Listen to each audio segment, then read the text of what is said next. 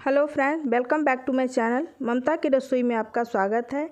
आज मैं आप लोग से शेयर करने जा रही हूँ आलू धनिया की सब्ज़ी की रेसिपी, जो बहुत खाने में टेस्टी और चटपटी लगती है, और ये न्यू रेसिपी है और सबको पसंद आती है घर में। तो चलिए हम बनाना शुरू करते हैं। तो उसके लिए हम यहाँ पर ले लिए हैं बॉयल आलू। तो आलू के साइज़ आप देख रहे हैं, इसको मैं बॉयल करके और छिलका इसका हटा दी हूँ। और ये छोटे मीडियम साइज़ के आलू हैं तो आपने देख ही रहा है कि कितना छोटा ये आलू है। उसके बाद यहाँ पे छिलका हटाने के बाद अब हम यहाँ पे ले लेते हैं खलबट्टा और इसमें हमने पाँच छः लहसुन की कलियाँ ले लिया है, जिसको छिलका हटा दिया था।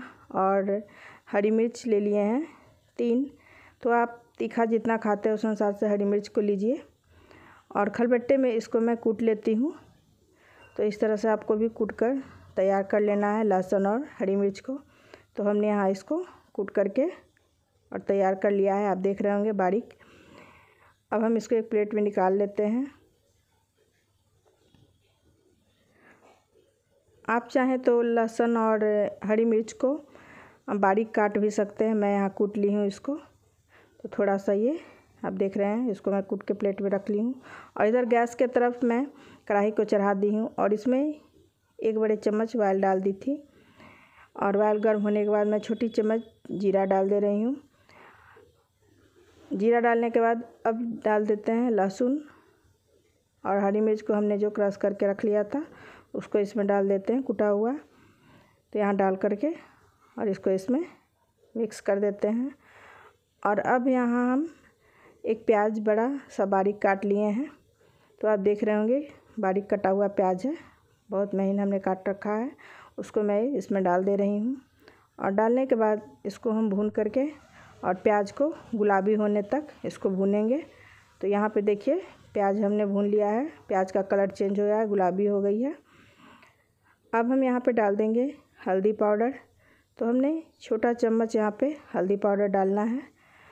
तो बस हमने आधी से भी कम छोटा चम्मच हल्दी पाउडर को डाल दिया है, थोड़ा सा कलर के लिए। अब मैं यहाँ पे थोड़ा सा डाल देती हूँ काला नमक।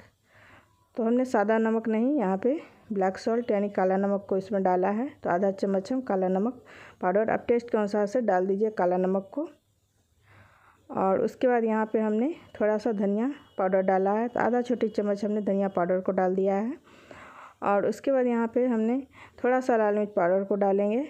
तो देखिए, आधा चम्मच से भी छोटी चम्मच हमने लाल मिर्च पाउडर को डाला है। आप चाहें तो लाल मिर्च पाउडर को नहीं भी डालें, क्योंकि पहले हरी मिर्च डाला हुआ है तो आप अपना देख लीजिएगा तीखा के अनुसार।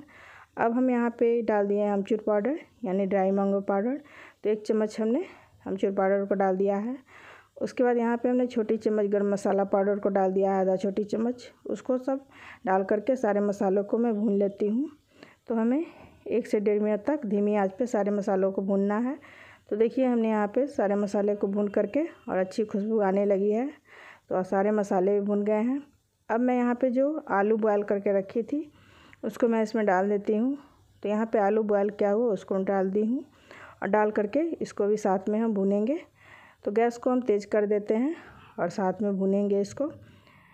अब मैं इसमें थोड़ी सी धनिया पत्ती डाल देती हूँ। धनिया पत्ती आप थोड़ा ज़्यादा ही डालें, क्योंकि यहाँ पे हम बना रहे हैं आलू धनिया तो जिससे टेस्ट बहुत अच्छा आएगा। धनिया पत्ती का मात्रा थोड़ा ज़्यादा होना चाहिए। तो हरी धनिया पत्ती को हमने काट के इसमें डाल दिया है और आलू को हम तेज़ आँच पर थोड़ी देर, पाँच मिनट तक हम भूने हैं, धीमा कभी करके और कभी तेज़ करके।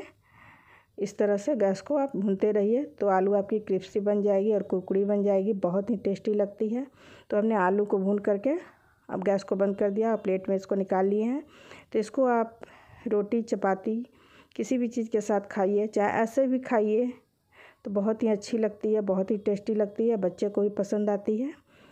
तो आपको अगर हमारा आलू धनिया पसंद आया हो तो मेरे चैनल को सब्सक्राइब कीजिए, लाइक कीजिए, फिर मिलते हैं नेक्स्ट वीडियो में, तब तक के लिए, बाय फ्रेंड